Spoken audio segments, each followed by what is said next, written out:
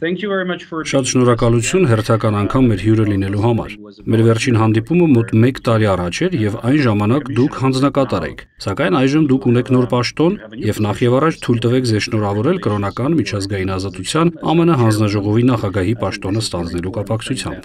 Կարծում եմ, այն ինչ որ դուք անում եք չափազանց կարեւոր է։ Հանձնաժողովը շատ կարեւոր է աշխարհում բազմաթիվ մարդկանց համար։ Շնորհակալ եմ շատ ձեր հատկացրած ժամանակի համար time, tough trips, etc. So thank you for being with us. Ես եմ շնորհակալ հրավերի եւ այս կարևոր հարցին անդրադառնալու համար։ Մենք շատ ենք գնահատում ձեզ հետ կապ հաստատելու ու այս հարցերի շուրջ քննարկումներ ունենալու հնարավորությունը։ Եկեք սկսենք մեր տարածաշրջանից։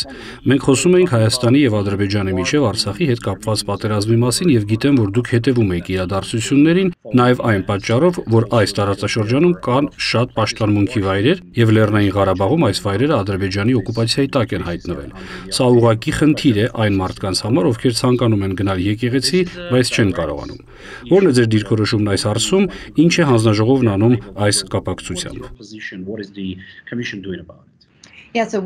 Մենք իհարկե դիտարկել ենք վիճակն այդտեղ պատերազմի սկսելուց ի վեր եւ դրա ընթացքում։ Մենք մտահոգված ենք առանցին կրոնական վայրերի առնչությամբ։ Հրադադարից ի վեր մենք մտահոգություն ենք արտահայտել եկեղեցիների, վանքերի եւ գերեզմանների պաշտպանության հարցում ու մեր զեկույցում խոսել ենք հայկական եկեղեցու մոտ գտնվող գերեզմանների վանդալիզմի մասին եւ լսել ենք անհանգստություններ կապված մի քանի այլ վայրերի հետ եւ եթե չեմ սխալվում 2021 թվականի մայիսին մենք հաղորդագրություն տարածեցինք նշելով, որ հանձնաժողովն անհանգստացած է զեկույցներով կապված պաշտամունքի եւ այլ կրոնական վայրերի ամբողջականության պաշտպանության հետ։ Ինչպիսին է օրինակ Ղազանչեցոց Սուրբ Ամենափրկիչ եկեղեցին, որի գմբեթը հերացել են եւ վերանորոգվում է առանց այդ եկեղեցու կրոնական առաջնորդների կամ ծխականների թույլտվության։ Սրանք են այն հարցերը, որոնց առնչվել են եւ որոնք շատ մտահոգիչ են եւ մենք բարձրաձայնել ենք դրանց մասին ու կշարունակենք բարձրաձայնել։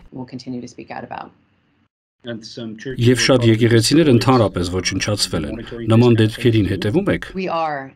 Այո, եւ մենք փորձում ենք արձագանքել, զետեղում ենք մեր զեկույցներում եւ ռեթվիթներ ու թվիթներ ենք շատ արել այդ առնչությամբ։ Այսպիսով մենք շարունակում ենք փորձել ընդգծել այս հարցերը, երբել որ հանդիպենք նմանատիպ իրավիճակների։ Քանի որ ինչպես ականատես եղանք, միջազգային հանրությանն առավել հեշտ է պարզապես անտեսել նման խնդիրները։ Ինչ վերաբերում է մեր հանձնաժողովի մանդատին, ապա կոնգրեսական Ֆրանկ Վուլֆը, որը օգնել էր հանդես գալ այն օրենսդրության Կոալիցիան, որի հիման վրա ստեղծվել էր հանձնաժողովը, մի քանի շաբաթ առաջ մեզ հիշեցրեց, որ մենք ճշմարտություն պատմողներ ենք եւ դա իրապես ազդեց ինձ վրա, որովհետեւ մեզ անհրաժեշտ չի անցնել բյուրոկրատիայի բազմաթիվ շերտերով, որ հաղորդագրություն տարածենք կամ թվիտ անենք։ Երբ ինչ-որ բան տեղի է ունենում, մենք պարզապես ասում ենք դա անկախ նրանից, թե որքան բարդ դրության մեջ դա կդնի ամերիկյան կառավարությանը որոշում կայացնելու հարցում։ Ես կարծում եմ, որ հանձնաժողովը իրապես կարևոր դեր է խաղում, այդպես էի նաև կարծում մինչև հանձնաժողովին միանալս եւ միանալուց հետո էլ ավելի եմ գնահատում։ Ես նաև Նաև արժևորում եմ այնպիսի խմբեր, ինչպիսիք ձերն է, որ օգնում են մեզ հասկանալ, թե ինչ է կատարվում, որովհետև մենք տեղում չենք գտնվում եւ մեզ իրապես անհրաժեշտ են վստահելի խմբեր, որոնք մեզ կհայտնեն այդ տեղեկությունները։ Այսինքն կարող են տարբերություններ լինել ԱՄՆ պաշտոնական եւ հանձնաժողովի դիրքավորումների միջև։ Դա այդպես է աշխատում։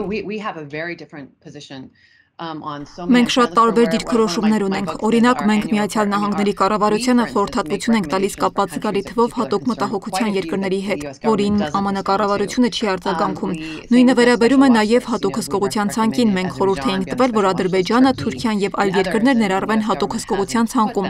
բայց Միացյալ Նահանգների կառավարությունը այդպես չի վարվել։ Մենք ստեղծվել ենք միևնույն ժամանակ, ինչ պետդեպարտամենտի կազմում գտնվող միջազգային կրոնական ազատության գրասենյակը։ 1998 թվականին կրոնական ազատության ակտով ստեղծվեց դեսպանի պաշտոնը եւ այդ գրասենյակը ու հետո ստեղծվեց հանձնաժողովը եւ մենք անկախ ենք։ Օրինակ մենք խոսում էինք Չինաստանի մասին զգալիորեն ավելի վաղ, քան դա անում էր այլ մեկը։ Բայց անգամ մի քանի տարի առաջ լուրջ ընդդիմություն կար այն գաղափարին, որ ցանկացած առևտրային պայմանագիր կամ ցանկացած տնտեսական պայմանագիր ներառի կրոնական ազատության պայմաններ։ Մինչդեռ հիմա ընդհանուր առմամբ համաձայնություն կա, որ նման հարցերը պետք է ներառվեն բոլոր տեսակի քննարկումներում։ Մենք ակնհայտորեն խորհուրդ էինք տալիս դեռևս տարիներ առաջ, որ Միացյալ Նահանգների կառավարությունը ճանաչի հայոց ցեղասպանությունը եւ ակնհայտորեն գոհունակ էին, երբ նախագահ Բայդենն արեց դա։ Մենք խորհրդատվություն ենք տրամադրում եւ փորձում գիտակցել այդ հարցերը բարձրաձայնելու հնարավոր ազդեցությունը, բայց մենք չենք առնչվում նույնատեսակ խնդիրների հետ, որոնց որ բախվում է Միացյալ Նահանգների կառավարությունը, բայց մենք գնահատում ենք, որ Բայդենի վարչակազմը իր մի քանի նոր քաղաքականությունների հարցում խորհրդակցել է նաև մեզ հետ։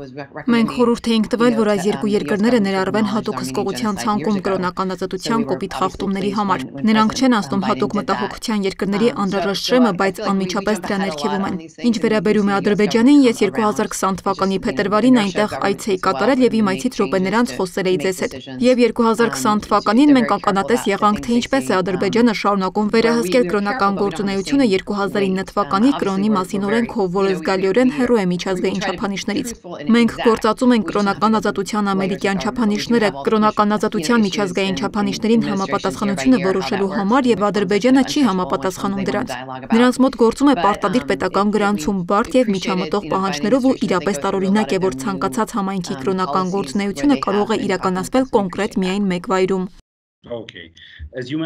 Դուք խոսեցիք Թուրքիա եւ Ադրբեջանի մասին։ Կարող եք մեզ կարճ ներկայացնել այնտեղ տիրող իրավիճակի մասին։ Հատկապես նշեցիք, որ նրանք երկրներ են, որ համապատասխանում են հատուկ հսկողության ցանկին։ Նրանք բառացիորեն ցանկացած բան կարող են անել միայն այդ հասցեում։ Ամեն ինչ կապված է կոնկրետ հասցեի հետ, որը գրանցված է։ Պետությունը նաև վերահսկում է ամբողջ քրեականության հրատարակումը, դրանց ներկրումը, արտահանումն ու բաշխումը, եւ եթե մարդիկ խախտեն դա, այլ կերպ ասած, օրինակ, եթե հրատարակեն կամ տպագրեն մի փաստաթուղթ, որը կրոնական նշանակություն ունի առանց պետության հավանության եւ կիսվեն դրանով ինչ որ մեկի հետ, ապա տուգանքը կկազմի ամսական աշխատավարձի մի քանի պատիկը։ Մեր այցի ժամանակ մենք շարունակեցինք լսել այն մասին, որ դրանց մի մասը չի կիրառվել, սակայն օրենքները մնացել են անփոփոխ։ Բացի այդ, այն պահանջը, որ կրոնական խմբերը պետք է ունենան ավելի քան 50 չափահաս անդամ, չի համապատասխանում միջազգային չափանիշներին։ Ավելին, նրանք պետք է նաև անձնական տեղեկություն տրամադրեն, այսինքն պատկերացրեք, որ կրոնական համայնք եք եւ պետք է տրամադրեք ձեր 50 հիմնադիրների մասին տեղեկություն։ Սա մի սահմանափակում է, որը շատ խիստ է եւ իրագործելի չէ շատ կրոնական համայնքների համար եւ այդ պարագայում նրանց խորհուրդ է տրվում, որ խումբը աֆիլացվի մեկ այլ խմբի հետ, եթե չունեն այդ անհրաժեշտ 50 անդամները։ Ցավոք, հենց այս ամիս նախագահ Ալիևի ստորագրությամբ ուժի մեջ մտան արդեն իսկ սահմանափակող օրենքի փոփոխություններ, որով այժմ կառավարությունը պետք է հավանության արժանացնի բոլոր ոչ մահմեդական կրոնական առաջնորդներին եւ հետո մասնակցի բոլոր քահանաների վերահաստատմանը։ Հանձնաժողովն ասում է, որ դա է ճշմարտությունը, սրանք են պայմանները։ Եվ մենք գնահատում ենք այն, որ Ադրբեջանը ներգրավում է մեծ հետ երկխոսության մեջ։ Մեզ թույլ էր տվել այդ իրականացնել եւ մենք կցանկանայինք դա շարունակել եւ ներկայացնել մեր գտած տեղեկությունները։ Նրանք հավանաբար պետք է անեն այն, ինչ կենտրոնական Ասիայի որոշ երկրներ են արել։ Այն է ԱՄՆ կառավարության հետ մշակել ճանապարհային քարտեզ կապված նրա հետ, թե ինչպես կարող են վերջ տալ նման օրենքներին, որովհետև ակնհայտորեն բարդ է պարզապես փոխել օրենքներ։ Դրանք պետք է վերջ տան դրանց եւ կոնսենսուսի հասնել իրենց երկրի այլ մարդկանց միջև, ինչպես օրինակ ՄԱԿ կրոնական ազատության հատուկ անձնակատարն է աջակցել Ուզբեկստանի հարցում։ Կարծում եմ, որ դա շատ լավ ուղի կլինի Ադրբեջանի համար um, in order to move away from some of these conditions. Okay. Դուք աշխատել եք Թրամփի վարչակազմի օրոք եւ հիմա շարունակում եք ձեր գործունեությունը արդեն իսկ Բայդենի վարչակազմի օրոք։ Որն է երկու առաջնորդների տարբերությունը կրոնական ազատության տեսանկյունից, որովհետեւ գիտենք նաեւ, որ կա կրոնական ազատության միջազգային դաշինքը եւ այս դաշինքը դեռ չունի նախագահ։ Արդյոք սա նշանակում է, որ Բայդենը ակտիվ չի լինելու այս հարցում, թե սա նշանակում է, որ դաշինքը վերանալու է, թե այդուհանդերձ կշարունակի իր գործունեությունը։ Ինչպիսին է լինելու դրա ապագան։ Որոնք են առաջնահերթությունները։ I mean, what is the priorities for the Թրամփի վարչակազմը կենտրոնացած էր կրոնական ազատության հարցի շուրջ եւ միջազգային համայնքը գոհունակ էր, թե նրանք որքան մեծացրին կրոնական ազատության դերը։ Օրինակ տարիներ առաջ, երբ ես աշխատում էի կրոնական ազատության հարցերով, երբ դեսպանատնից ցանկանում էին քննարկում ունենալ այդ հարցով, սովորաբար դա լինում էր ամենացածր օղակի պաշտոնյա։ Եվ իրապես անսովոր էր, եթե որևէ տեղեկություն հասներ ընդཐུպ մինչև դեսպան։ Երբ ես հանդիպում էի ունեցել մի երկրում, որը նախկինում մեր ցանկում էր, բայց հիմա ոչ, այնտեղի դեսպանն ինձ ասաց, որ ինքն անձամբ է զբաղվում զբաղվում կրոնական ազատության հարցերով։ Այդուհանդերձ մարդիկ հաճախ էին խոսում կրոնական ազատության մասին, սակայն երբ հերթը գալիս էր երկրի համար քաղաքականություն մշակելուն, կրոնական ազատությունը չէր ներառվում։ Վերցնենք Սիրիայի օրինակը, երբ մարդիկ սեղանի մոտ նստած քննարկում էին Սիրիայի ապագան, Սիրիայի կոալիցիոն ընդդիմությունը մահմեդական եղբայրների աջակցությամբ ուներ մի շարք խնդրահարույց դիրքորոշումներ, որ պարզապես անիմաստ էին եւ վերջին վարչակազմի քաղաքականությունը Սիրիայի հարցում այդքան մեծ շեշտադրում չուներ կրոնական ազատության վրա։ Բայդենի վարչակազմը ակնհայտորեն հեռացել է կրոնական ազատության տերմինաբանության օգտագործումից։ Ի հակադրություն այն տերմինաբանության, որ կիրառում էր Թրամփի վարչակազմը։